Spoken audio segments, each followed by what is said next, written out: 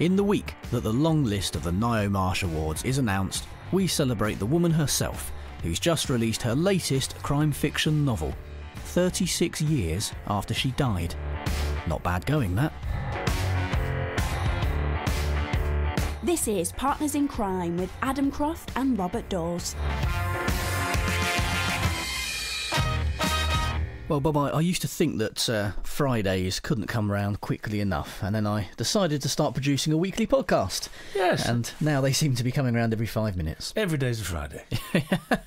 Lots of work goes into producing the podcast that people just just don't see. But uh, Well, I don't see it either because uh, you know you're the the the the gizmo man, and uh, I just come here and uh, and talk into this microphone and have a chat with you and our, our wonderful guests, and, and then I go home. Well, this bit's lots of fun. Uh, This is this is this fun bit is the fun bit. But it is yeah. a lot. Of, listeners, it is a lot of hard graft. People who uh, know how this sort of thing is done will uh, uh, know only too well uh, how much time and dedication it Yes, takes. well, gluttons for punishment deciding to do it weekly, but there we are. We'll Well, uh, we'll carry on. We do we enjoy said it. we said we could do it when we wrote in. But in in the um, the little bit of downtime I have had in the last week, on uh, Sunday evening, I settled down to watch Midsomer Murders, Oh, dear. which was particularly I think I know what's intriguing this week, now. dear listener, because the man sitting next to me was uh, was uh, one of the guest stars. uh, yes. Uh, And even more amazingly, you seem to know what you were talking about when it came to plants. well, you see, this is it. This is this is this is great acting, Adam. as as you know, I mean, they, the, my character is uh, uh, a sort of uh, runs an artisan gin um, business and whatever, and he's got lots of and he's got lots of flowers in his greenhouse. So, yeah, the script uh, was very helpful. It gave me all the names. All I had to do was learn them and and look as if I was a little bit Monty Donish, uh, which uh, hopefully I, I pulled off. But as you well know, you're a green-fingered swine yourself, so you're an expert on this sort of thing. I know next to nothing about. I, I mow the lawn, uh, and that's about it. It did give me a chuckle when I uh, I realised who your character was, but Well, I have actually. Of course, someone uh, tweeted the other day uh, uh, and said I did do an episode about uh, ten years. Uh, well, two thousand six. It's longer than that.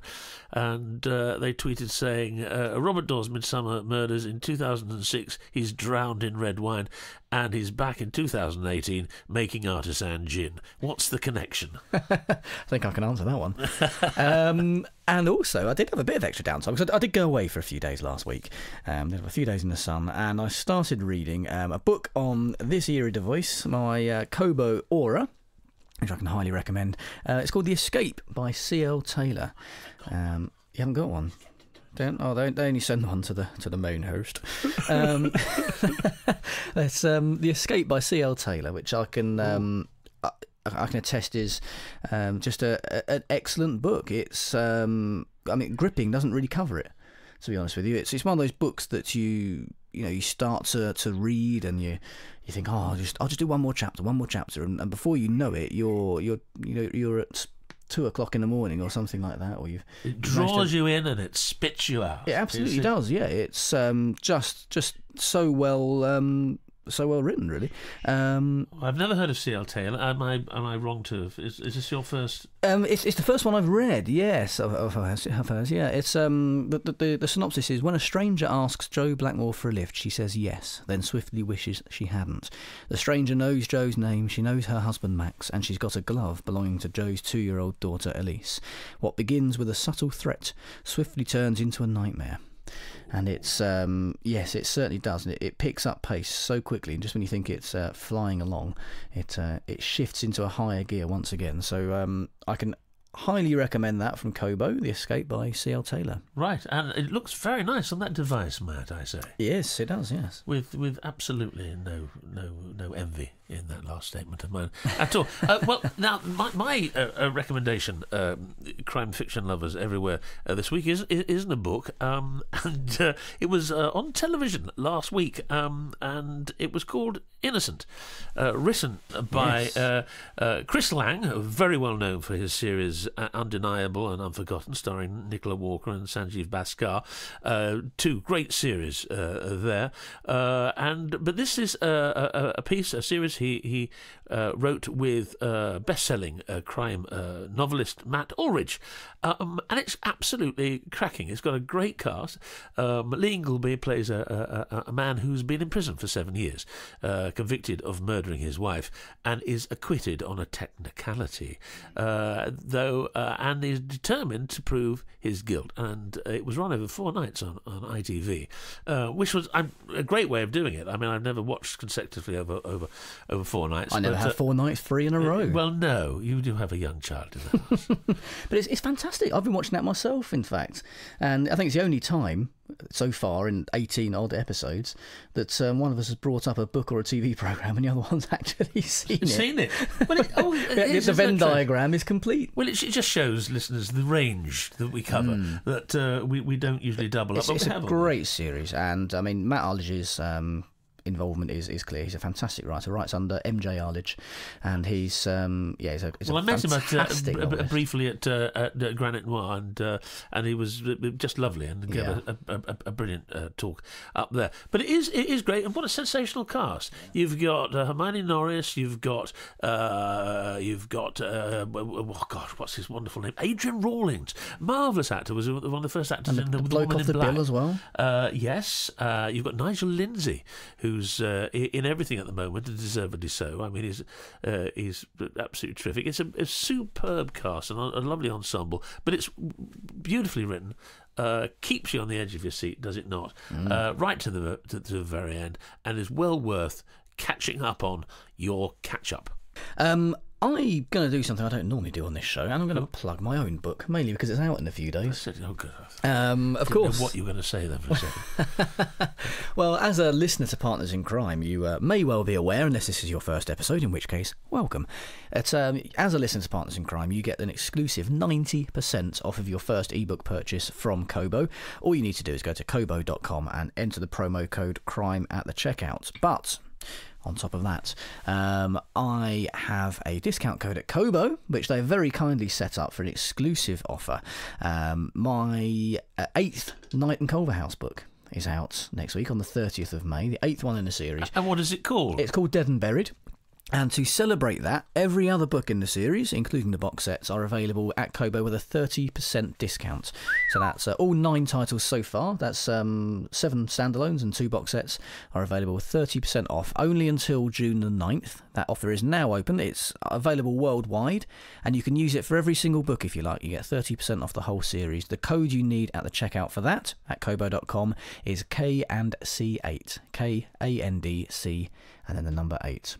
Knight Culverhouse. Enter the world of Knight Culverhouse. I mean, it's a fantastic deal you're offering there. Well- uh, for a set, set of, uh, of great books. So yes, uh, Yeah, or g- use get- your Kobo discount. Yes, get stocked up on those, and you'll be you'll be ready for, for book eight. Great. Uh, can I have my fiver now, please?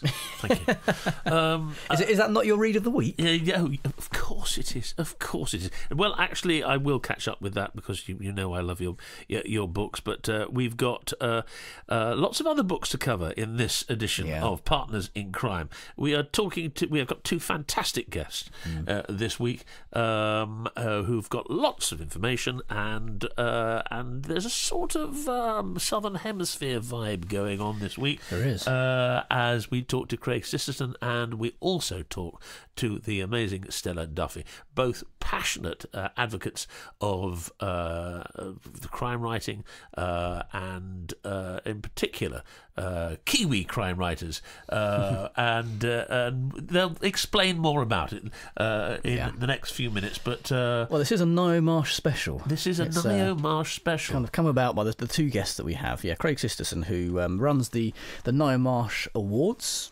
um, for best uh, New Zealand crime writing or crime connected Amongst writing. many other things, um, and, and a wonderful speaker. He's uh, he'll be our guest for the first half of the show, and in the second half of this Ngaio Marsh special, as Bob says, we'll be speaking to Stella Duffy, who's um, our first OBE we've had on the show, I believe. Yes, indeed. She's um, and, and well deserved as well. She's an absolute powerhouse, and uh, she'll be speaking passionately about uh, Marsh and about uh, money in the morgue. Which was the, the book that I spoke about in the introduction, which Ngaio Marsh started during the war and then abandoned and has now had finished and, and released It's 36 called, years yes, after her it's death. called conti- a continuation novel. Ah. Uh, I think there are about three or four chapters that Ngaio Marsh, Dame Ngaio Marsh, uh, wrote and, and left it, and Stella Duffy uh, picked up the, the gauntlet thrown to her by uh, a publisher and has finished it off uh, splendidly. Uh, the reviews have been absolutely fantastic, and uh, and it's out now. But she'll also be talking about her own psychological thriller, The Hidden Room, and all about her theatre work too. She's a fantastic theatre maker. So, on to uh, our first guest, I think. Should we crack on? Um, yeah, what's the time? Yeah, why not? Well, here we have our special guest, uh, one of our special guests today, uh, critic, reviewer, and crime fiction specialist mastermind, also the founder of one of the best, I have to say, uh, crime fiction blogs I have read, and also founder of the Dame Ngaio Marsh Awards. Now, the Dame Ngaio Marsh Awards uh, are presented annually in New Zealand to recognise excellence in crime fiction, mystery, and thriller writing. And here to talk about those, himself and crime fiction in general, is the marvellous Craig Sisterson. Craig, back by popular demand. We had a lovely chat with you up at Granite Noir uh, a few months ago, and uh, I- as I came back from there, I said to Hugh Fraser, and I got back to Adam, I said, We've got to get him on the show. He's a mind of information and hugely entertaining, so welcome to Partners in Crime. Well, thank you very much, Bob. I'm going to have to get you to do all my introductions forever, anywhere. I think after that. And listen, you, you, you, you took our, our paddle up in uh, in Aberdeen, and um, well, I take that as a lovely compliment, especially coming from you because you're very good at this sort of thing uh, yourself. So now you are a, a New Zealander. Living in uh, the UK, in London, you are a crime fiction aficionado, um, a great um, expert on it. You uh, have fingers in lots of pies. Um, uh, you work in Scotland, you work all over the world, actually. But uh, this week has been a particularly special week for you because of something you founded in 2010. Would you like to tell the listeners a little bit about that? Yes, thanks very much, Bob. As you say, I, I kind of spread myself around a little bit. People everywhere kind of uh, might get sick of me, but uh, I love talking about crime books. I love books in general. And and as you say, um, this week's a little bit special because we've just on Tuesday announced the long list for our 2018 Ngaio Marsh Award for Best Novel, which, as you said in your intro, is is our award for crime, mystery, and thriller writing in New Zealand. So our equivalent of, of the Daggers or the McIlvanney Prize or the Edgar or something like that, but um, for the New Zealand authors. Fantastic. So, uh, you, you, I mean, some people will, uh, many people will actually already know the news, but there may be many listeners to Partners in Crime who don't. So, can you tell us anything about this year's uh, awards? Yes, absolutely. I'd love to. Um, the the awards have been growing each year. We we started uh, back in 2010 because we thought there was a space to to celebrate our New Zealand crime writers who perhaps weren't getting recognised by our general books awards in New Zealand, but we were getting more and more great crime writers coming through. So like like the uh, the Scottish st- starting their crime writing prize now called the McIlvanney Prize, or Canada with the Arthur Ellis and Australia with the Ned Kellys, we realised that New Zealand was perhaps uh, the only English speaking country that didn't have a crime writing award, but we did have lots of great crime writers. Um, or Belize. Belize may not have had a crime writing award as well. Um, but, but outside of Belize, New Zealand was the only English speaking country that maybe didn't have a crime writing award.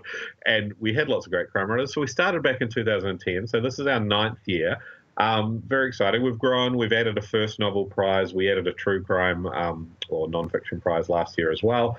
But this long list announced on Tuesday is for our, I guess you'd say, our open or main award, the Best Novel Prize.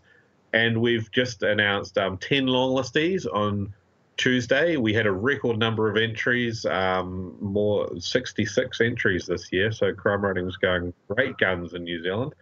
And um, if you don't mind, I, I can run you through the entries of, oh, sorry, the long listees. that um, would be smashing. Would you mind? That would be great. yeah, fantastic. So, we, as I say, we have um, 10 long listees, and they're a really glittering um, array of writers uh, in a number of ways. I'm very excited about this long list because we have some award-winning writers who've won awards in different countries. We have some brand new first-time authors. There's a couple of debutantes who've actually made the long list for this for our open or open award, so to speak, as well. There's a separate award for debuts. Um, and uh, and we've got a couple of authors who've come back to crime fiction after more than a decade away. So it's wow. a really interesting mix. Um, we also, I think, our youngest author on the long list is 21, perhaps 22 now, and the oldest author on the long list is 82. So we have a great spread of. Like, I love to hear news like that. That's great. Yeah. Young and old, still at it. I love it. There's, there's hope for us yet. Absolutely. I'm the 21 so, um, year old. I'll run through alphabetically and uh, randomly. I've just realised looking at it uh, alphabetically, we have um, five men and five uh, women writers, and it seems to be the five men first and then the five women, just the way the alphabetical names work. But don't worry, we have some amazing female writers that I will get to down the list. so, we'll, so, so, we'll start off. We have The Easter Make Believers by Finn Bell. Now, um, this is Finn's third novel. It's a uh, it, it, has um, a hostage situation with a family taken hostage and a couple of cops in the southern part of New Zealand, down in Otago, attend, and then everything goes wrong. Like everything that could go wrong goes wrong with the hostage situation. There's explosions, people missing, people die. It's all really bad, and they've got to investigate the aftermath. And it turns out that the hostage takers were all gang leaders from a local gang, and the father of the family is missing, and a couple of the daughters survive, thankfully. And so they've got to investigate all this mess, basically. Um, and the, what the judges said about that was that um, Finn Bell's narrative instincts are right as ever. The focus, scope of the story, and its relative brevity give it the mood of a locked room mystery with some of the most inventive set pieces you'll ever see. Now, Finn is a very new voice in New Zealand crime writing. He only started publishing back in 2016, but he won our Best First Novel prize last year with his first book, Dead Lemons. And his second book, Pancake Money, was a finalist for the Ngaio Marsh Award um, for best novel last year, and now he's on the long list again. So he's certainly hit the ground running wow. with his career yes. with his first three books. So very, uh, very strong narrative voice Finn has. He's um, only available in ebook. We we have our awards are open to ebook authors and indie authors as well as. I see. Great. So, Finn um, Bell. Right. Yes.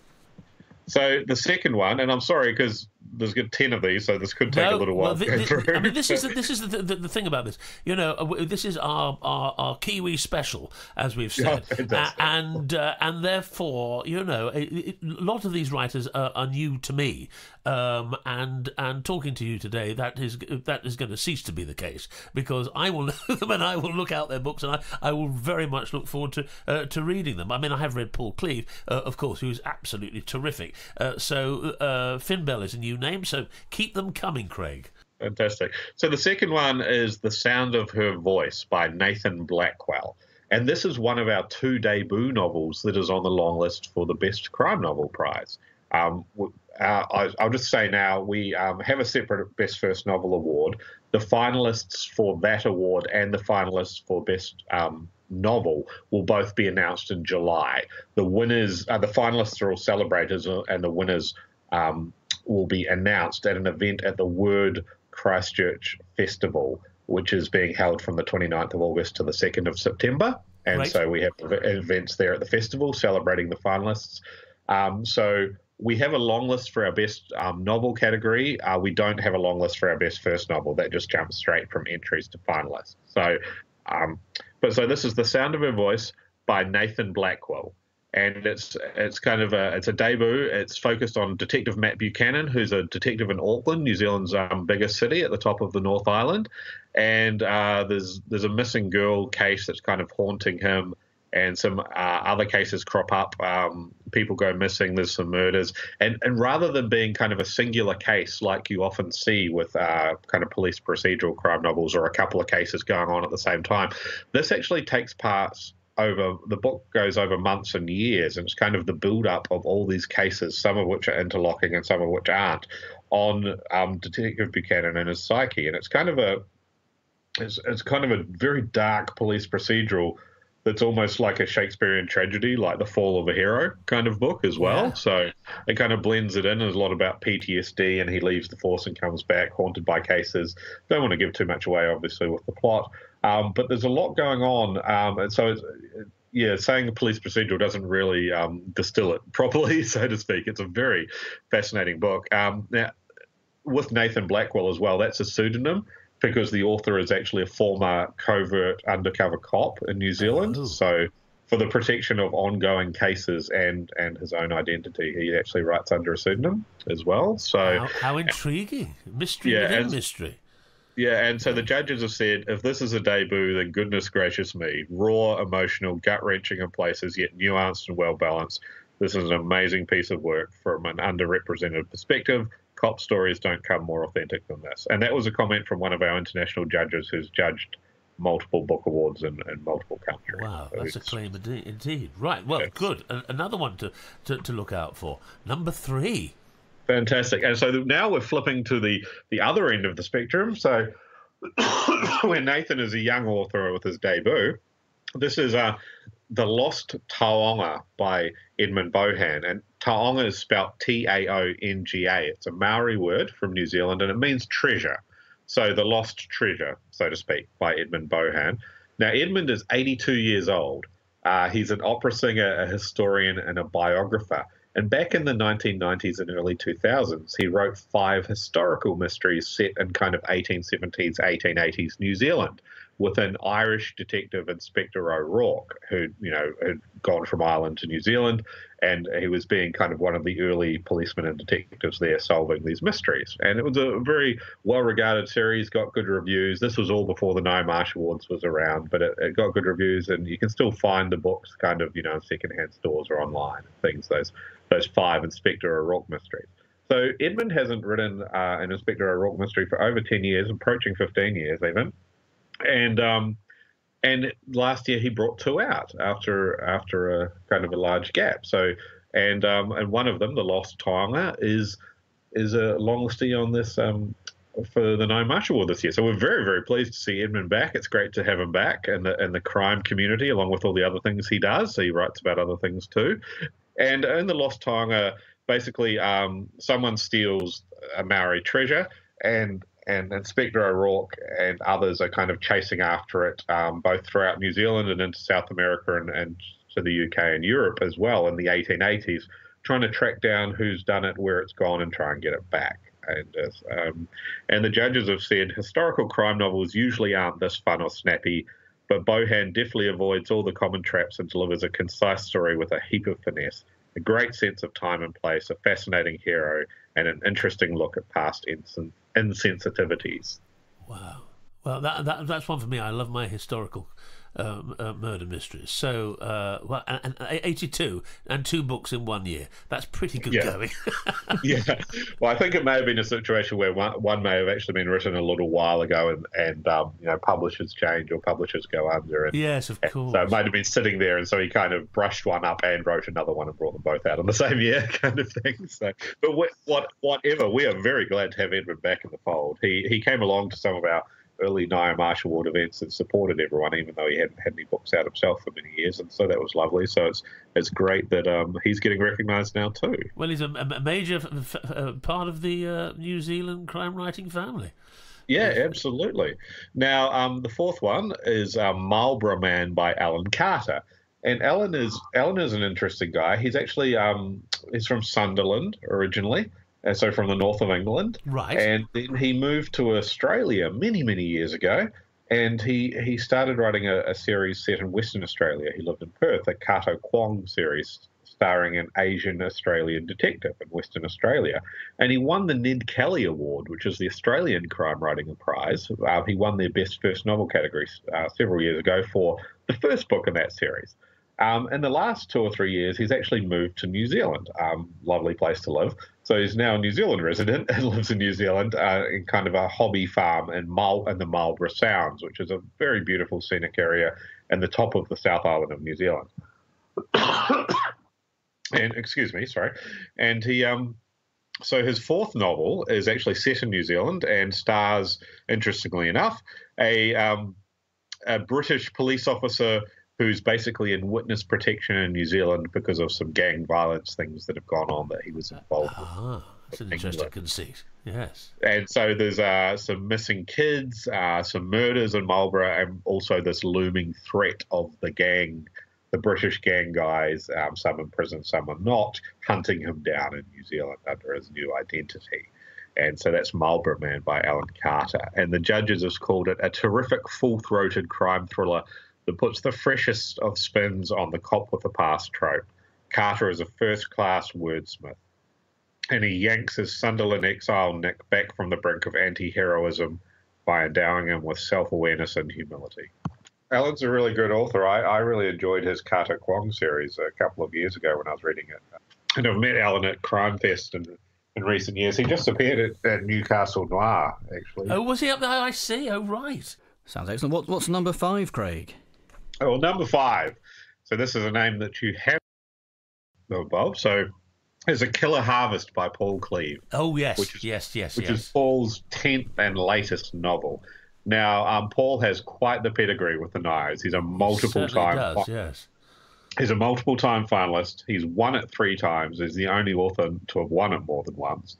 And he's also won French crime writing prizes, been shortlisted for the Edgar and Barry Awards in the United States and everything else. And basically, um, he's a must read author if you like the darker end of the crime spectrum. Yes. I agree. And Absolutely. and he's um the cool thing for British for your British listeners is that up until recently, up until a couple of years ago, he was actually a little hard to find in the UK. Just the vagaries of the publishing world. He was a bestseller in France, a bestseller in Germany, award nominated in the US, and available there. And he, I think he was published in about twenty something countries and languages. Um, but just the way publishing sometimes works internationally, he, he wasn't readily available in the UK, which was really frustrating. And how did that come about? Were, were you, did you help in that particular area by by sort of? Uh, Oh no no no no! He um he it was nothing to do with me other than I, I no, nothing to do with me at all. shout I mean, and uh, and uh, yeah, and um, but uh, no, he got picked up recently by um Hodder in the UK, which is great, and um, they sorted things out, and so they brought out his book Trust No One last year, which won our crime fiction award, uh, the Ngaio Marsh Award the year before. And um, so that was great. And then they're bringing out his backlist now, and, and I think A Killer Harvest, this this book that's longlisted, should be coming out shortly if it's not out already, as well in the UK, which is great. And Paul's gone a little bit inventive in this one. It was um, he has for the first time a teenage hero rather than an adult um, private eye or cop or serial killer uh, or um, person investigating a crime. And um, basically, there's a teen- uh, there's a blind teenager called Joshua who um, hasn't had his sight for his whole life, and he's got. Um, unfortunately, his father is a police officer who gets killed in the line of duty, and uh, Joshua gets a retina and eye transplant to help him with his sight. Um, so he gets his father's eyes, or that's the plan at least. Um, but then he starts having visions, like flashbacks, kind of, of things that his father's seen, um, some of which violent, some of which confuse Joshua. And at the same time, there's people hunting Joshua down because of the incident where his father got killed in the line of duty and things like that. So it's quite a an interesting, twisty take on crime fiction. Almost, I would say it's almost crime fiction. If this was a literary novel, you would call it magic realism, where it's it's ninety five percent authentic and grounded in the real world, with one thing that makes it a little bit out there, kind of thing. Um, so yeah, if this was a literary award and literary thing, we'd be going, "Oh, this is amazing magic realism." But of course, it's crime fiction, so people don't necessarily term it that way. But no, it's very inventive, um, literary in a sense, while still being just a really good, like full throttle crime thriller. And the judges have said uh, Cleave becomes more inventive and imaginative, aiming for a higher degree of difficulty with each novel. The narrative dexterity and fluidity of A Killer Harvest is impressive.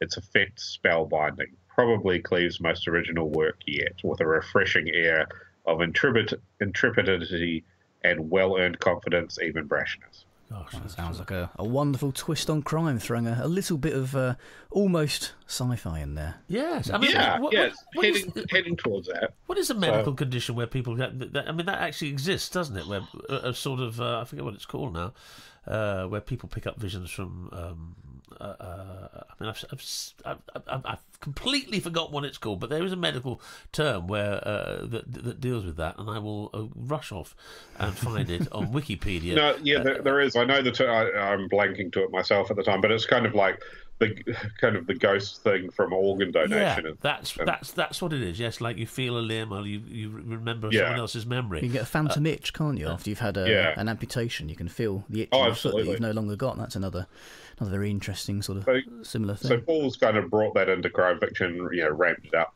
times a hundred, you know, for the story Yeah, and things good. like that. Yes. And um, no, it's a very fascinating book, and it'll be interesting to see how he fares this year um, because it's a very strong long list. But he's um, he's done very well in the Ngaios in the past, and definitely an author worth And it's great, out. great to know he's so available, uh, as you say, through through Ho- Hodder um, uh, in in the UK as well now. So that, that's Yes, and I understand um, that Paul will be over here for festivals later in the year as well. I think some of those announcements are coming out soon, so I perhaps shouldn't specify which festivals. Right, But, okay. but he will be. Um, UK readers will have a chance to, to meet Paul in person and, and get him some books and do other things. Lovely. Yeah. Smashing. Well, Over here in the middle latter part of um, of the year, kind of thing. So.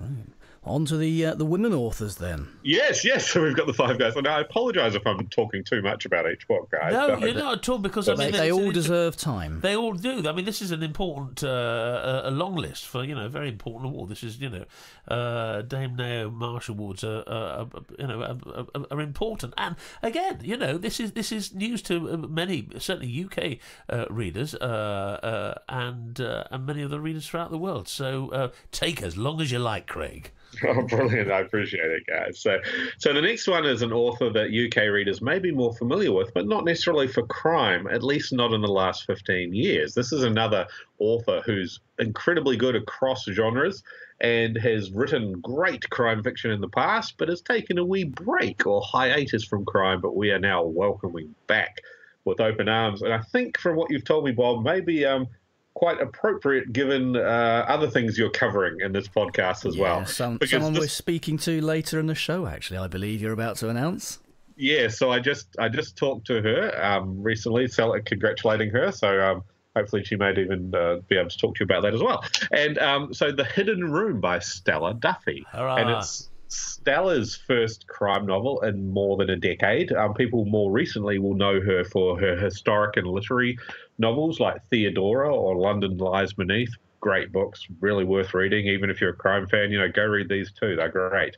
Um, she just she's just a great storyteller overall, and obviously a great stage storyteller with theatre and, and improv, things like that as well. And and Fun Palace is just a powerhouse of awesomeness, really. Stella is, um, but she also she's also um, yeah, a really, really good crime writer. And she actually won two, I believe, CWA daggers for short story crime writing back in the kind of uh, late 90s, early 2000s kind of area.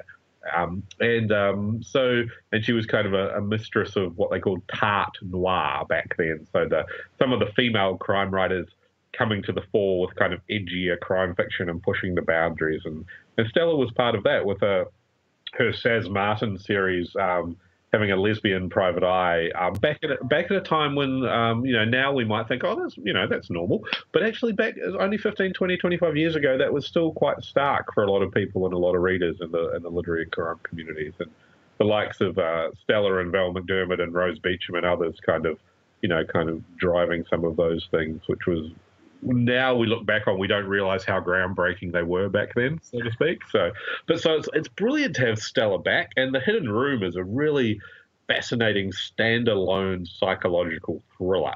Um, basically, it, it has a couple, Laurie and Martha, who have um, three kids and a home in the in the British countryside, and they've you know all the normal domestic pressures and struggles in life.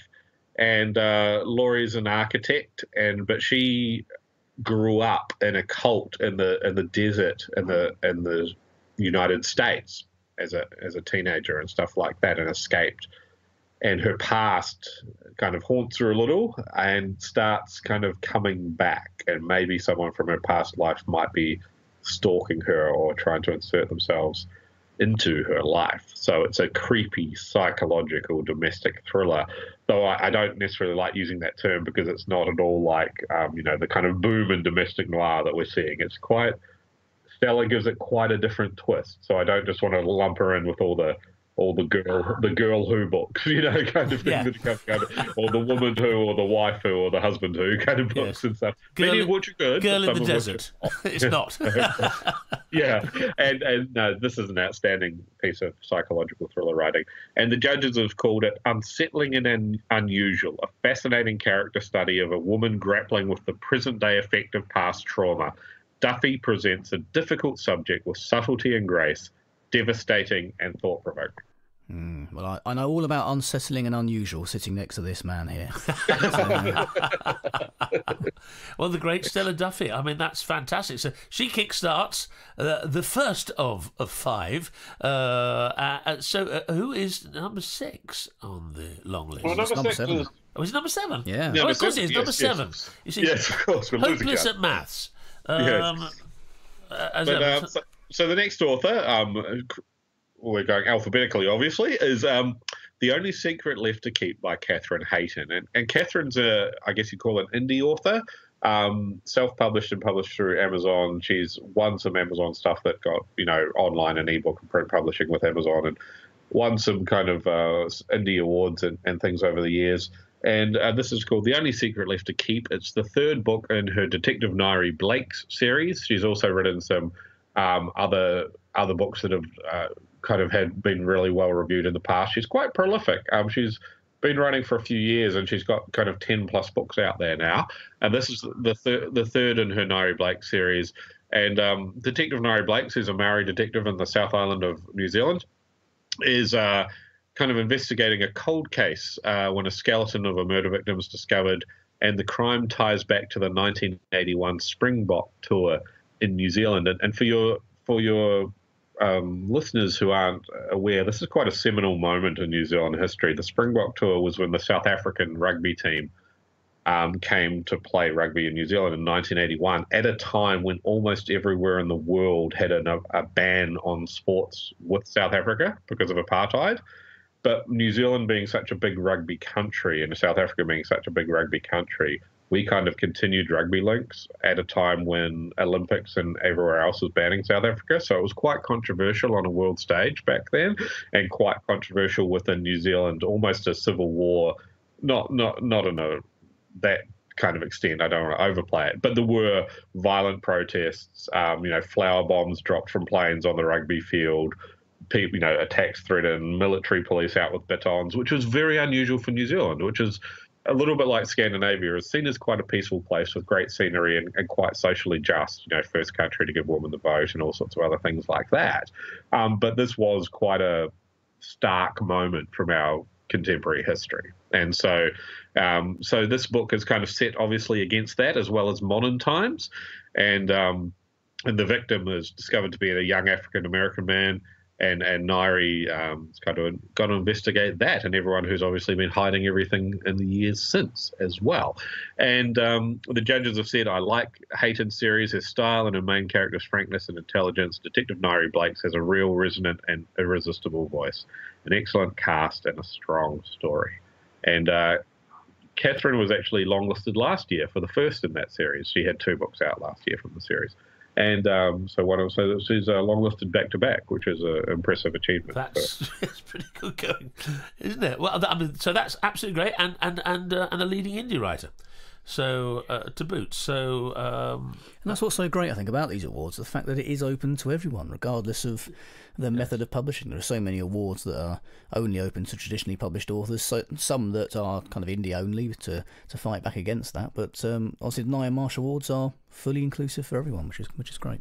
Yeah, we just we want to find and celebrate the best New Zealand crime writing and the best New Zealand crime stories, um, whether the authors are New Zealanders overseas or um, you know foreign-born people who now live in New Zealand or or whoever. You know, New Zealand authors, New Zealand crime stories. Let's celebrate the best of them, and um, regardless of how they're published. Um, obviously, you know you know, we get a lot of indie entries and, and of varying qualities, but there's a lot of great indie stuff out there as well. So we're, we're really glad to highlight that. So well, and, and you do. So number uh, number, I'm going to get this right now, Craig. Number eight. number eight. so number eight is another of our, is the second of our debut authors, and it's called Baby by Annaleese Jochems. and Annaleese is an interesting young author. She's in her very, very early 20s. Um, really fresh new voice in, in New Zealand writing. And she was recently, last week, she was a finalist for the Ockham New Zealand Book Awards, the Acorn Foundation Fiction Prize, which is kind of probably the, for your British listeners is kind of our equivalent to the the Booker Prize, and that it's more of a literary award or a general fiction award. And so she's um, kind of come through that channel and seen as a more literary or general fiction author. But this is a, a kind of a psychological thriller, so um, kind of qualified for our awards too. So, um, so she was shortlisted for that uh, that kind of best New Zealand novel um, prize at the Ockhams, and and now she's longlisted for our crime writing, well, our crime mystery thriller writing prize as well. And it's a so in this book, there's a 21 year old kind of bored millennial woman, kind of desperate and yearning, and and she strikes up a relationship with her fitness instructor and kind of abandons her life and her fitness instructor abandons her husband and they go live on, on a boat off the Bay of Islands in New Zealand, is a very scenic area in the north of the North Island. Um, and there's always there's this kind of creeping sense of unease of like what happened to the girls uh, to the fitness instructor's husband are people chasing them? There's this looming threat kind of all around them of violence that may have happened off page or violence that may be about to happen and things could explode. And it's, it's a kind of it's a really intriguing literary psychological thriller kind of um, so with an unusual name. It's not a not a typical uh, crime fiction uh, title, is it? No, well, and you would love the cover too. It's it's a bright pink cover with the word "baby" on it, with a with a jammed sandwich, so white bread and jam seeping out of it, and that's the cover. I'm looking at it And now. that's That's, What's not to like? it- I'm looking at it now. It's very much not a crime cover. No, I won't No, see I it. No, think, I think the it now, cover might have been shortlisted for some cover art awards in Australia and New Zealand as well. Um, and the judges have said an interesting take on profoundly unlikable characters. This is disconcerting reading, cleverly constructed with a low key style that reflects its characters very well. Unusual concept, and uh, it's also been called a sunburnt psychological thriller because in the heat of the summery part of New Zealand and things like that. So, very interesting book. Um, I, I I'm not a voting judge for these awards, but I I because I founded them and was a judge in the early years, and now I kind of supervise the judges and help them along. But I try and read all the books myself just to keep up with what's going on. And I was very intrigued by this one. I I when I reviewed it, um, I called it a Marmite book. Um, which I'm not sure if it's a phrase you guys use over here in, in Oh, Britain. it Um, definitely It is. is, yes. Yes. Oh. You either So like it is- or you don't. yeah, this is going to be a love or a hate kind of book because it's written in a very interesting style, um, stylistically. It's obviously where it's got some nods from the literary community and the general fiction awards as well. And it's kind of a slow burn psychological thriller where a lot happens off screen and you can't trust any of the characters and they're all quite unlikable, but you're kind of drawn in anyway. And I found it I found it like bewildering and brilliant, but other people may just hate the guts of it, you know, kind of thing. So I'll be very curious to see how how it comes through. But obviously, our judges have really enjoyed it to put it on the long list from a record record number of entries. So Bewildering and brilliant. Sounds good Yeah. to me. We'll stick with that endorsement. I think that's. So, n- number nine. Uh, so number nine is um, Tess by Kirsten McDougall, and um, not to say it's similar to Baby, but they're actually from the same publisher, which is a more literary publisher in New Zealand. And Tess was long and Tess was longlisted for the the Ockham Book Prize as well. So again, it's a it's not a it's not a typical detective fiction or crime novel, um, and but it's a really great book, and it's a I think it's Kirsten's second novel. And basically, there's a there's a girl on the run around, and this happens around kind of the turn of the millennium in New Zealand, so the late 1990s, early 2000s. And there's a girl on the run, and she's picked up on the side of the road by like a lonely middle-aged father.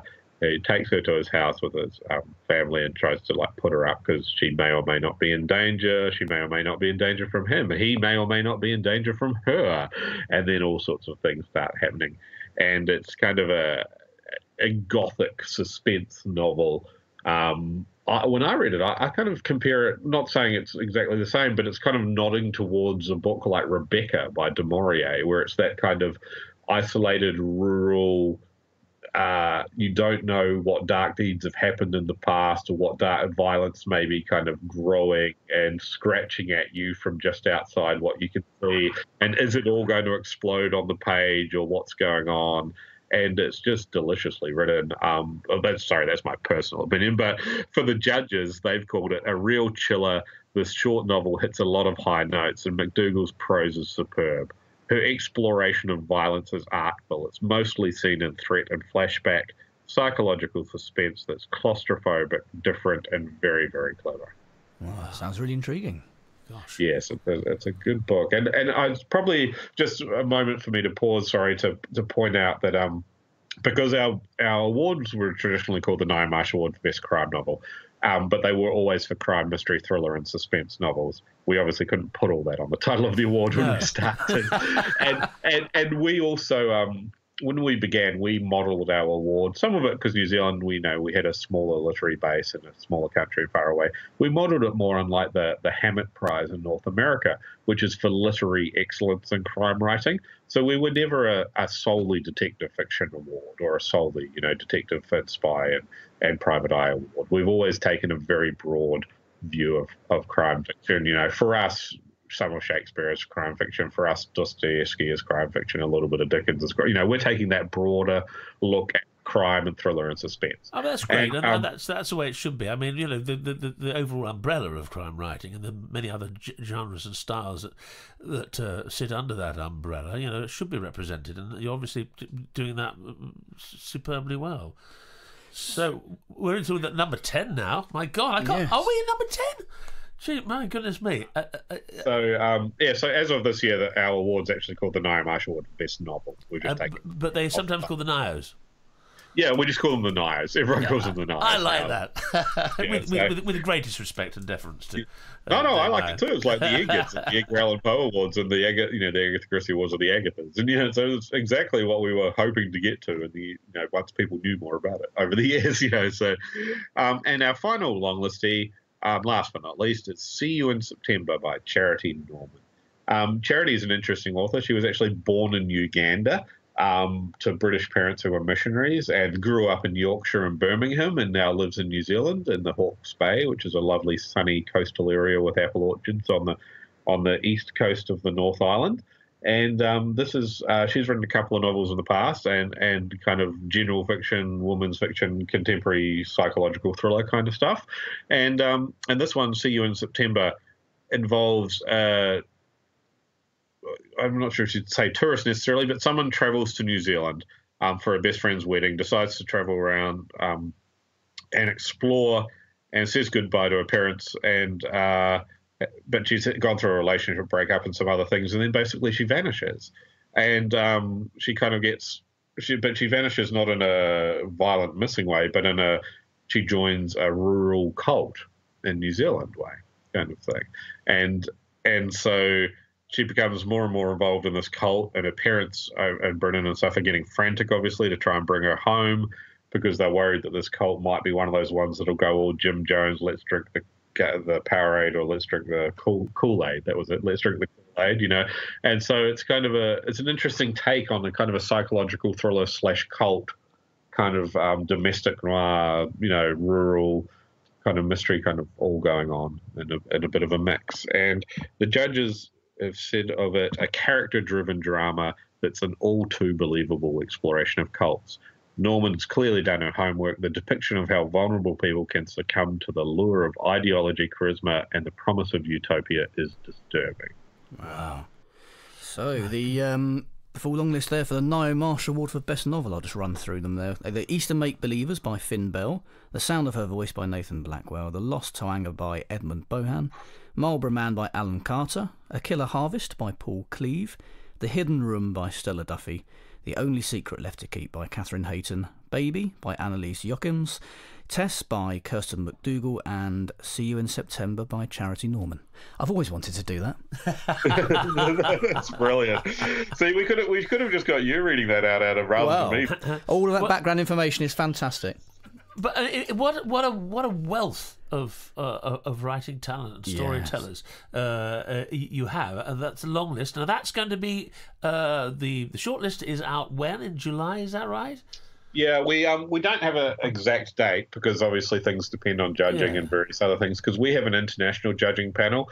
Um, we're a little bit different to other awards how we set up. We actually have a seven judge panel that's spread around the world. Right. Uh, rather, so we don't obviously have lunch meetings to discuss them No. or things like that. You know, it's all, uh, we're, we're taking advantage of um, of kind of internet and other communications, phone and email and everything else.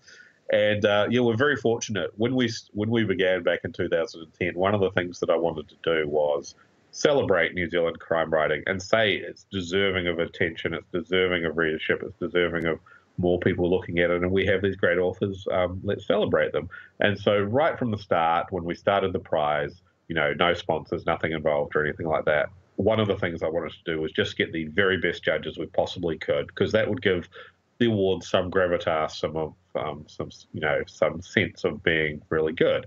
And so right from the beginning, we've already always had international judges involved as well as New, some of New Zealanders. Craig, it's been you know it's lovely talking to you as ever. Your enthusiasm and, and the and the work you've done with the, the Ngaios, who let's face it, after what you've said, are bang on trend. Um, and we we've been very excited to actually listen to the uh, to the the long list uh, and the incredible.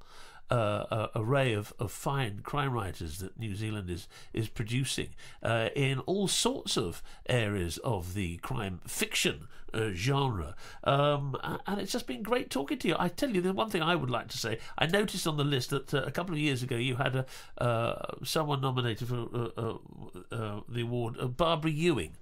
You remember Yes, Barbara Barbara- Ewing? Uh, she was in my, Yeah, the- the my- Man. my very first job as an actor, pretty much, at the Derby Playhouse in about 1980. We were doing Joe Orton's Loot. And it's a very difficult play, but great fun. And I had two lines, and all I had to do was walk on at the beginning of the first, the second half of the play, and put some handcuffs on the main character, who's an inspector. And half a page later, I had to unlock them and take them off, and then I went off stage. Well, one night I came on and I put the handcuffs on, and half a page later, when I was supposed to take them off, I couldn't find the key. and so I stayed on stage for the rest of the play. Unfortunately, this was a press night, and two days later there was a review in the local paper which said how brilliantly inspiring Joe Orton's work is, and especially that wonderful comic device of keeping the policeman on stage all the way through the second half because he couldn't get the handcuffs off. So, uh, uh, so Barbara was with me at, at that, and uh, I remember she was writing then, and she's obviously gone on to, to great acclaim with, with with many other books since. So that's my sort of little link to the Ngaios. But um, listen, thank you very much. Can we have another chat uh, when the uh, the winner is announced? Absolutely, yes. The winner will be announced. As I say, um, I'm not sure exactly which day of the festival they're doing the event, uh, but it, the festival's from the 29th of August to the 2nd of September. There'll be um, a lot of different books events, a lot of different genres covered, including crime, but also some other really cool stuff. Rachel King and her team at Word Christchurch do an amazing job putting that festival together. Um, Denise Mina, actually, the McIlvanney Oh, Prize yes. winner last year, is going to be down there for it, and there might be some other some other international crime writers as well as some New Zealand crime writers. And one of the events there will be will be uh, uh, celebrating the finalists and announcing the winners of both best best novel and best first novel. So yeah, absolutely happy to chat to you about that. I might even be able to um, get you on the phone with the with a winner or two if you like. Well, that would be quite a coup. We'd absolutely love that. And I tell you, I, for one, could quite happily spend the next few months in New Zealand reading every one of those books. Um, thank you for taking us through so in such detail and so vividly uh, explaining uh, the the state of the healthy state of uh, Kiwi crime writing now. And thank you for being such a, uh, a fantastic enthusiast and, and professional. Uh, uh, well, your Crime Watch. Anyone who wants to know what's going on can actually get onto your blog site and follow your worldwide reviews of, of, of crime fiction. But they'll also find out much more about the Ngaios, Ngaios, and uh, and Craig Sisterson. Thank you so much for joining us. Well, it's always a very exciting time for, for writers when long lists and short lists and winners and things are announced, especially if you're on the list. I've, I've never been on one myself, but I can imagine it's um, th- those people are going to be very excited right now. Uh, Well, yes, I mean it's an extraordinary thing because it, it, you know it helps uh, uh, obviously well-established best-selling authors Uh, uh, as well as, as, as new writers, as uh, as Craig pointed out so eloquently there, uh, and it's an extraordinary list, um, and lovely to hear his passion uh, and his dedication to actually bringing Kiwi crime writing, thriller writing, to world attention and good that he also told us quite a bit about each book as well. Sort of whetted the uh, the audience's appetites. So, oh, every, every, um, time you get a new description, I went, I've got to read that. Oh, yeah, I've got to read that. I've got to read that. So hopefully our listeners will too, and go out and buy the lot and spend spend uh, spend the next six months in, in, in New Zealand in your imagination. Well, you can get uh, ninety percent off of one of those books at Kobo.com. If you're not already a customer, head over to Kobo.com, choose one of those books, and enter the promo code Crime at the checkout, and they'll give you ninety percent off, which is fantastic. Um, ninety um, percent.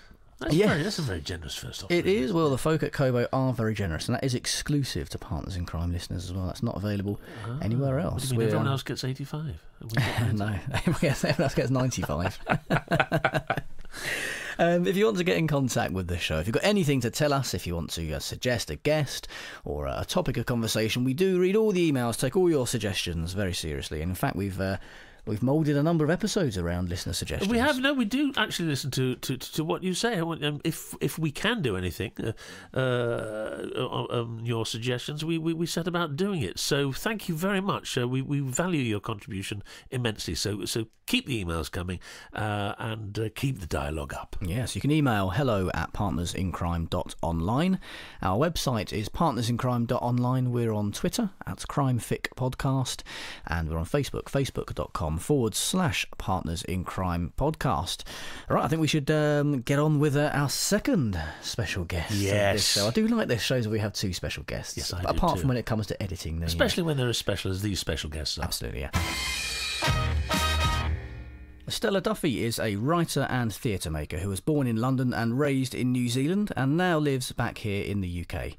With over 60 novels, short stories, and plays to her name, she's one of the country's most prolific writers and in 2016 was awarded an OBE for her services to the arts.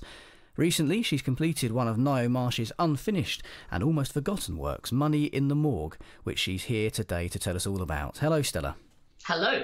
Um, now, Money in the Morgue. Tell us a little bit about how that came about. I, I understand it was a novel that um, Ngaio Marsh started writing but then abandoned. Is that right? Yeah, absolutely. Um, what's interesting is people have assumed that because she hadn't finished it, that she was writing it when she died, but that's not the case. She was writing it during the war. We don't know exactly when, um, but we know that she finished. There was sort of almost four chapters, and they're very short. They're very short compared to her normal introduction chapters. So I don't think, I really don't think she got any further than um, a first draft. And a couple of pages of notes, none of which were particularly um, useful in terms of who done it, why done it, or what done it. So none, none of that was in her notes. There was just um, these three and a half, it ended up being about three and a half chapters. Um, and they are what is now the beginning of the book. Um, and then some pages of notes, but they really weren't very in depth at all. Not least, I mean, in the first three and a half chapters, she didn't even have Alleyn in the book, so we hadn't got to seeing what he was going to do or why he was there. Um, and uh, Harper Collins had had this material for quite some time. I think about 20 years, David Brawn said when he approached me about doing it. Um, and then another piece of material, but again, not, you know, it wasn't like, here's the entire narrative i arc for you, turned up. And at which point they thought, well, they'd contact me um, because I've written crime novels and literary fiction. And um, yes, Ngaio Marsh is one of the queens of crime, but she's also a very good literary writer. And I think people do miss that if they're only concentrating on plot, which dare I say it, I don't think she's as good as Christie. But if you're looking for narrative, if you're looking for um, story content, if you're looking for literary and for character and setting, I think she's a winner. So anyway, they came to me, um, and I have to say, having grown up in New Zealand, born in London, she loved London, she loved New Zealand. She was a theatre director. I'm a theatre maker. Um, I would have been pretty grumpy if they'd have asked anybody else, actually. and, and, as far as I know, it's not. I don't know that they did ask anyone else and they turned them down. But um, when they did ask me, I you know, it's not my genre. I mean, golden age crime fiction is really not my thing. Um, not that I don't like it to read, but I, am not a puzzle writer. I'm, I'm just not that kind of a writer. So it was daunting and absolutely terrifying to be asked. But at the same time, it was just too juicy an offer to turn down. I can't say no to that, can you? no, no, absolutely. I mean, when you were completing the novel, did you come across any reason that, that you spotted why Ngaio Marsh might have abandoned the book? Did you come at, you know, was there a point where you thought, ah, yeah, that, that that's why she shelved this one? um, not really, although, I mean, it's the way I've ended up writing it, it's very much a, a locked room mystery. Um, that's not in the first three and a half chapters that she wrote, although I think there are some clues. You know, there's a rickety bridge and a very fast flowing river and um, it's midsummer, which means that there could well be sudden floods and storms. Um, so it became a Room mystery very quickly. When I was in New Zealand last year for a few book festivals and some museums work, um, I went to the Ngaio Marsh House and spoke with the people from the Ngaio Marsh House Trust. And there's varying views. Some people think that it's that she stopped writing it because the war ended and she didn't want to write something set in the war anymore. She'd already um, had Colour Scheme and Dyed in the Wool, and perhaps she didn't want to, you know, have another war story. Other people think it was because she'd been in New Zealand the whole time during the war and she really did have a passion for, for Britain, but London in particular, and wanted to get back. And then other people think that perhaps she had had a relationship with somebody during the war when she was an ambulance driver um, in New Zealand, and that one of the characters might have been the person she had a relationship with, and so she didn't want to give that away. Mm. Um, or a combination you know, of all three, perhaps. Oh, could well be. And you know, she's famously private about her private life. So um, several people say to me, "Oh, it must be that." I'm like, "Well, yeah, maybe, but." She didn't want to talk about it in her lifetime, so who are we to speculate? No, absolutely right. I mean, were you a? I mean, you, you mentioned kind of reading Golden Age fiction. Were you a, a bit of a fan of Ngaio Marsh beforehand? Did you kind of read her works? You know, what, um, what... I had read her work because I grew up in New Zealand, and um, although in New Zealand, she, you know, for, certainly when I was growing up, she was much more successful and much more famous for her theatre work. Right. Um, yeah. Um, how can I say this politely? I can't. New Zealand, it's not so bad. It's not so bad now, okay? But when I was growing up in New Zealand in the 70s and 80s, New Zealand um, right readers were quite snobby about. I mean, you know, we all suffer from genre snobbery anyway around genre mm. fiction, crime writing in particular. I've written historical novels that has the same. Um, as far as I'm concerned, literary fiction is just another genre, you know. But um, but in New Zealand, when I was a kid, the big bookshops would have a big shelf called fiction and then another shelf called literature. Wow. Like, yeah, I know. By literature, they meant no genre fiction, um, you know, only literary fiction. And it was, and, and so I, I mean, they didn't mean classics. They actually meant this is literature and that's just fiction. Wow. So actually, she had quite a hard time for her writing in New Zealand, though she was massively respected as a director which meant that by the time I was growing up, I read her because I was just desperate to read any work by women because there was so little. But I was particularly in my teens looking for work with with women heroes. And she didn't have many of those. I mean, Troy is just to, I think you can absolutely argue that Troy is a hero, but I think we can tell that Marsh is very much in love with Alleyn herself, and he's always her, her big lead.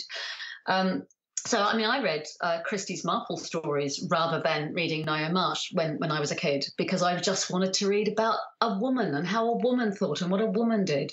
And we're much better now. There's so much more work by women and with women leads. But you know, it's not that. Well, I'm 55. Maybe it is that long ago.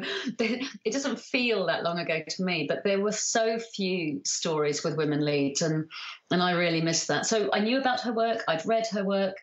Um, I probably suffered from the same snobbery that um, my my um, friends and, and family did. We didn't take her writing seriously. Um, she was a crime writer writing, particularly in the 80s. New Zealand was very, very political. You know, it was really strong stuff happening around um, Maoritanga, Maori culture, around the resurgence of the Maori language.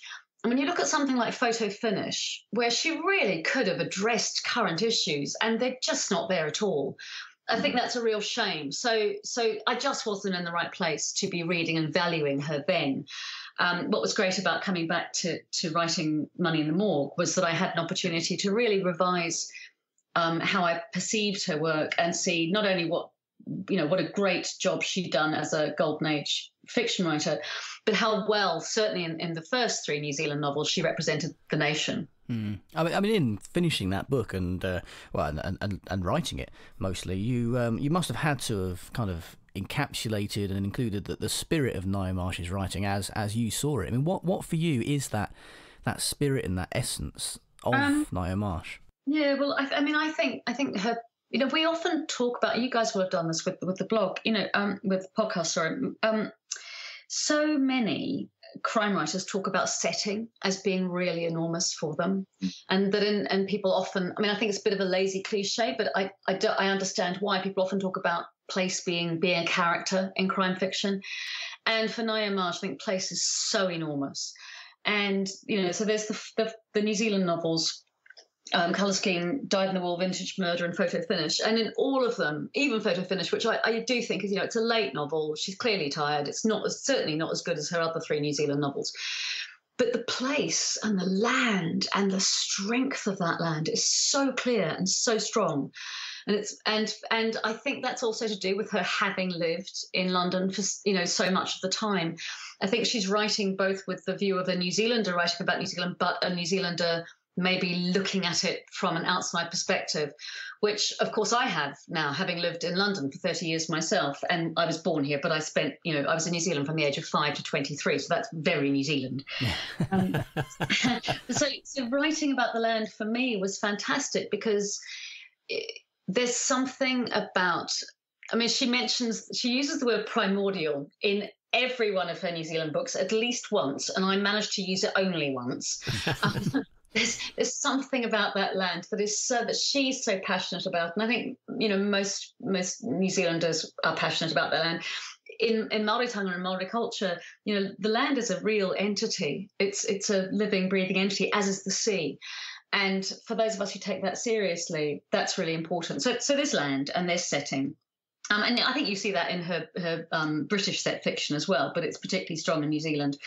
I think she's really good with the cast of characters, and I think that is very clearly because of her theatre work. Um, you know, she was a very successful director of, of, Shakespeare in particular, which is invariably large cast. Um, she worked a lot with youth theatres and student theatres, so she's really, uh, you know, she's of her time, but she's awfully good with young people. You know, there, there's always a range of ages in her casts, and I think that's that's a really good lesson to writers. I think um, particularly new writers. I don't I don't teach very often, but I, I do teach an, an Arvon course maybe um, once every couple of years. And I say to people, don't just write about your own age. You know, lots of people start writing in, their I guess, 20s or 30s, and they're only writing about characters their own age, but that's not the real world. The real world has characters of all ages. And um, is very good at having characters of all ages, and I and I really do um, assume that's to do with her her theatre work and particularly her Shakespeare work. She's great with bit parts. You know, she really is. You know, other people may concentrate on their leads, and of course we do. I mean, it, you know, our leads are what carries the narrative. Our leads are what help people turn the page.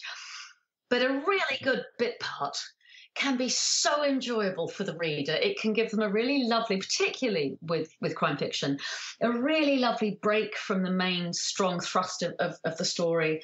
It takes us out of, you know, what we're following avidly and gives us a little bit of a rest which I, which I think really gives us a reason to go back into the story yeah. and she's she's fantastic at that as I said, you know, of, of of those those four queens of crime, I really I don't think she's as hot on plotting as, as Christie, but then I don't think many people are as hot on plotting as Christie. no. um, and I don't think that's a problem. I think that you know every writer has something in particular they bring to to their fiction that people love them for. And I and I think character is absolutely one of one of Marsh's huge strengths, which of course made it bloody terrifying. right, the rest of the book. Did she um, ever, like Dame Agatha, uh, Agatha uh, adapt her her b- uh, books to the stage? Uh, um, yeah, oh God, yes. but but but one, one of your listeners who knows much better than me will know this. Yes, there was. I don't think it was very successful. See, there's a there's a, there's three biography. Well, there's her biography, um, autobiography, Black Beach and Honeydew, which is it's interesting. Even in the revised version, she's not given away any secrets. Um, and then there's two others, Margaret Lewis's and Joe. Can't remember her surname. That's terrible. I'm just gonna no, no, I, I can't find it on my um, bookshelves. Anyway, they talk a little bit about this. There was at least one. It did all right, but not as well as she wanted it to. Anyway, I could be totally wrong, um, and your listeners will know much better than me, and they'll know when it was, and they'll know who starred in it. Well, there have been adaptations, obviously. I mean, very successful ones to the screen. I mean, uh, I mean, I'm, trying to think of actor Patrick Malahide. Uh, yep. I think Simon and Williams uh, did it yes. in the in the, well, in, the, in the pilot. Apparently, Simon Williams, who I think looks more like my dream of what Alleyn might look like.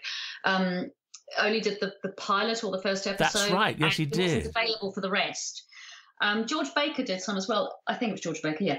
Um, the Malahide ones are good, although I I don't I just don't think he's good looking enough. And he's a really brilliant actor. But you know, she's so passionate about how beautiful Alleyn is. And there's not a lot of actors who could fulfill that brief. Um, and Malahide's a fantastically strong actor, but he he's not well. He's not tall enough. I mean, you know, most telly actors aren't that tall. Tell and me she, about it. I, and, you know, she's she's a, a she was a, a, very tall woman herself, and I think that's why she made Alleyn so tall and so beautifully imposing in his monkish asceticism. Oh, um, I love that. I mean, this is something that comes up on the podcast a lot, but, but people talking about adaptations, be they screen or, or even yeah. on, on, radio, because I think Jeremy Clyde played uh, Alleyn on, on the BBC radio. And, of course, people reading a, a, book have very much their own image, as you have, uh, uh, uh, of Alleyn. And it doesn't take much to actually destroy that image and, and the mm. whole world if you're faced with a face and a voice or, or, or not tall enough or good looking enough or whatever that really doesn't fit. So you just won't watch will I know it's it's it's really difficult, and um, that I think it's Belinda Lang who played Troy in that that's series. It. She doesn't look like my Troy because my Troy doesn't have curly hair. I mean, that's how absurd it is that we that we that we have characters that we believe we know what they're like. You know, um, my Troy probably looks a lot more like Ngaio Marsh, and I think I think Ngaio Marsh's Troy probably looks like Ngaio Marsh as well because I think she quite. I think I think if we if, if there's any character who has um, Marsh in her, it, it's Troy. You know, she, yes. she's uh, she's writing about herself very clearly there. So on to um, Money in the Morgue. Uh, tell me a bit more about that. What's the, the kind of the, the setup for that then? Well, I mean, she she gave it a fantastic setup. Basically, um, it's a hospital. Um, I've set it on the Canterbury Plains because I thought that was she was from Christchurch. She loved the plains, and I wanted to do it as an as an homage to her for that. She had set it actually closer to Dunedin and a different. Um, she set it at Mount Gold, which she drove to from Oggs Corner, which was outside Dunedin, but now is very much in Dunedin. Um, and uh, but I changed the, the mountain and the plains, and I made it Mount Seager, which is named after her grandfather. But you'd have to you'd have to know about Marsh to know that. But now now your listeners do. Um, and uh, and so I sat on the plains, so I could write about the plains and the Alps, which she writes about very beautifully in Black Beach and Honeydew. And one of the things I wanted to do in getting this as right as I could was to try and bring a sense of her, not just her own writing of the novels, but how she writes about New Zealand herself in Black Beach and Honeydew. So there's some things in the book now in Money in the Morgue, that are that are taken from her attitude to the land um, in in her autobiography. So there was that. There was a matron. There was a grumpy sister comfort. Um, so you already you've got two older women, um, uh, which is a, very very classic um, Ngaio Marsh trope. I think the posh people who have degrees in these things say. Um, and then there was Mr. Glossop, and she'd written Mr. Glossop, and he's fat and he's sweating and he's difficult and he fancies the matron. and um, and uh, she'd also written um, you know, eh, her lovely, there's always one lovely young woman with a broken heart. So that's Sarah Warren, the ingenue, and um, and a young woman who's not an ingenue because she's been behaving far too badly. And there's a phrase in Money in the Morgue which is absolutely not mine. I had to look it up. Um, my mum would have known. Both my parents were 18 and 39. They were um, a bit younger than her, but not an awful lot. And um, uh, the phrase is doing a spot of the old bonnet and windmill, um, which apparently um, is, is a phrase referring to Don Juan. Um, uh, th- oh, I don't know. It, no, it's not Don Juan. Who's, who's the Pancho Sansa and the windmill? Don Quixote. Don Quixote. throwing his bonnet over the windmill or something like that. Anyway, it means shagging. Um, but um, so I, obviously I kept things like that in, and and there were only three and a half chapters worth of that. Um, so then I had to follow the characters on. But you know that's a really lovely lead, and you've got somebody with an awful lot of money, Mr. Glossop, who who's got a flat tire, can't get anywhere. It's way out in the middle of nowhere. Um, there, there's a one one older woman he fancies, one older woman he dislikes on sight, and she dislikes him on sight, and these two young women who clearly have to fancy the same doctor. I mean, really, it'd be stupid if they didn't. well, you've um, you've convinced me. Well, it, it, it, sounds absolutely uh, uh, uh, wonderful, and I, I, I haven't re- read it yet, but I, I certainly am going to read it uh, uh immediately. Uh, but also in this week, Stella, c- huge congratulations! Your psychological thriller, The Hidden Room, has made the long list of the Ngaio Marsh awards for for 2018. Can you tell us a little bit about that? Um, yes, well, the hidden, I hadn't written a crime novel since um, I think 2006 or 2007, and um, I'd done a couple of historical novels, the books about the Empress Theodora, um, some contemporary literary gritty South London fiction, yes. and then and then another historical novel set in 1912 in South London. Um, I live in South London. I love South London, um, and uh, and then I had a crime idea, and and I, you know, I, I am the despair of my publishers because I am simply not capable of doing. So if people like something, you know, what, what what readers like is that you do another version of what you did before, make it different enough for it to be a new story, but make it the same enough for them to be pleased that they've got you. Well, mm. I'm I'm rubbish at that. uh, and, and, and you know um, I, I, I really am rubbish at it. I just can't do the same you know I i'm just not capable of, of, of even with the same characters actually even when i had a crime series they were always doing she was always doing quite different things. Anyway point is i had a um yeah a family thriller idea and i do like a good cult um, so I thought, oh, I'll put a cult together with a family, and it's set in um, the Fens. Um, in modern day, but it's set in the desert in America in the 70s and 80s. So you've got one lot of arid, dry flatland and one lot of watery, wide flatland. And I think I've always been interested in secrets more than anything else, including in my literary fiction. So secrets and lies uh, are my big thing. And I think that shows in everything I've written. Um, and so this one's a very big secret from the past that, like all big secrets from the past, come back to haunt us. Um, and it's um, what was really funny for that is it has a, um, a, a same-sex couple, a lesbian couple of mothers, and uh, all the reviews have been very kind, and they said things like, um, "Laurie and Martha are a very happy couple, and their children are great until this happens." And they, or Laurie and Martha live in the fens and everything's lovely until this happens. And brilliantly, the Dear Daily Mail, I guess because they didn't want to upset their readers or get their readers accidentally buying a book with some lesbians in it, um, said uh, Laurie and Martha, same sex couple, are oh. very happy. And, and they're, they're, the only review that referred to that because it's not, the plot has nothing to do with their sexuality or, or them being two women. It, that's irrelevant. Well, why point it out then? Yeah. I know, I just thought, I thought, I thought it was so funny of them. And, you know, I mean, and typical perhaps yeah, I, exactly. I don't have the politics of the Daily Mail, but as any writer knows, they do help us sell books, um, one way or another. and, and, and, we don't want we don't want readers buying a book and going, "Oh my God, they're lesbians! I can't read it." Um, or actually, maybe I do want them buying it as long as they buy it. But I mean, the other thing that, ha- that happened this week um, uh, is that um, Money in the Morgue's on the long list for the historical dagger. Oh wow! Oh, Congratulations! That's great. That's the sort of week writers like. Not a bad week, Stella, is it? It is. It's a, it's a very nice week. Um, I've never had a week like it. I've also never had a book nominated for the Big Dagger. I've got two short story daggers, which are gorgeous but I've never had a, a, book on the lists for the for a big dagger. So um, I'm really chuffed about that. Oh, huge and, congratulations! That's fantastic news. You. Yeah, thank you. It, it feels really lovely, particularly for this. And, and what's really cool is that in the listings it says um, it's you know so they've got the ten of, of each, and then it goes to the historical dagger, and it says by Ngaio Marsh and Stella Duffy because it is. But it, I just really like that that you know so long after her death, she gets to be nominated for a prize. It's really cool. It is cool. And I- it goes to show what a fantastic book it is as well, and um, and and the, and the great work you've done. It's um, Well, it really is, and I've got one last question, if I may, Stella. Yes. You're a theatre maker of of, of, of of much distinction. What's your next theatre piece? Oh well, I haven't actually. Um, oh, I'm about to lie. I said I was about to say I haven't actually got anything, but I have. Um, I've got two things.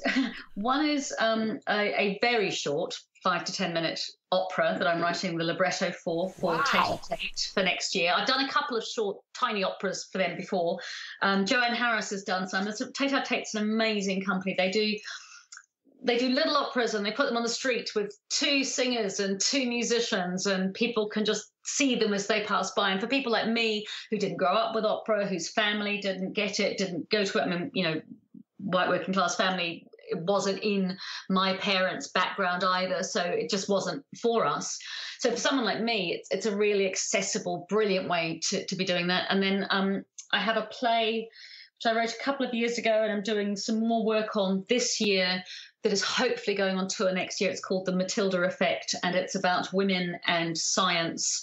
And all those women in science um, who have been forgotten or neglected and who made wonderful contributions and are all too often talked about as victims. I mean, you know, eh, no one ever talks about the amazing discoveries that Rosalind Franklin made and how fantastic she was and how successful she was. All they ever talk about is, oh no, she didn't get the prize because she died before um, they were awarded the prize for the D- for DNA. Well, she couldn't get it because she was dead, um, and, and actually she was massively successful in her lifetime. So rather than writing a play about the you know women yet you know women scientists basically being Sylvia Plath, which is all everyone ever wants, you know, women with a rotten life and a horrible death, and that's not true of Sylvia Plath either. Um, what I'm trying to write is, is a very positive piece about about women, some of whom have been forgotten, some of whom are remembered, but they're remembered for their victimhood and their victim status, not for their strength and their brilliance. Wow. Well, Wow. it just goes to show what um, A powerhouse. yeah, talented and diverse You are- person I, you I, are. I would really keep an eye out for both those uh, those performances. They sound absolutely extraordinary. and for Money in the Morgue, which is um, out now in hardcover and ebook and in paperback next March, I believe. Is it still? Yeah, paperback next March. Fantastic. Well, uh, we'll tell everyone to uh, to rush out and get that. Stella, thank you very much for joining us today. thank you, Stella. It's you. been smashing. thank you very much Thank you. What a, a fantastically eloquent speaker. She's a, a an absolute powerhouse. Well, as we Stella. said, she she certainly is, and uh, oh, what a, what a great interview. Um, I mean, talk about talent, and what a week, as we were saying. I mean, you know, two, two two nominations, books. I mean, that's that's great, and that's before you even start talking about uh, her, her theatre work.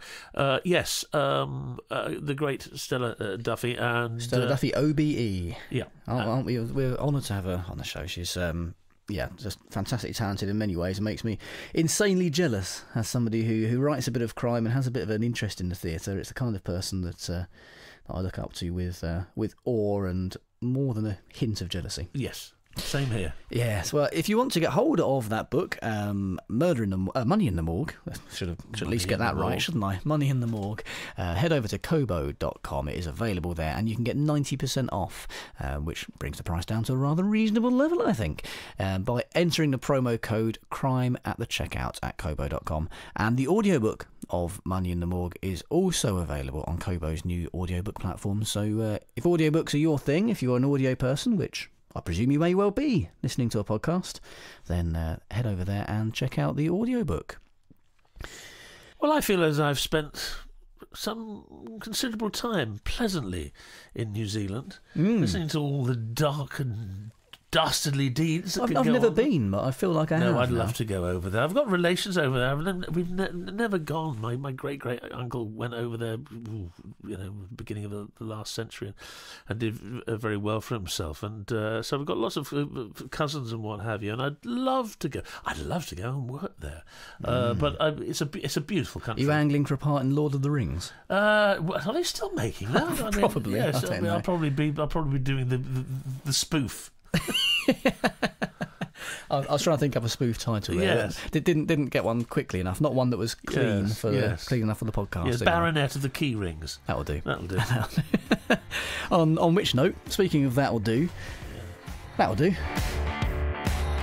Partners in Crime was presented by Adam Croft and Robert Dawes and produced by Adam Croft. The theme tune was by the Caesareans. The Partners in Crime logo and imagery were designed by Stuart Beisch. Partners in Crime is sponsored by Kobo, your favourite local bookshop, perfected.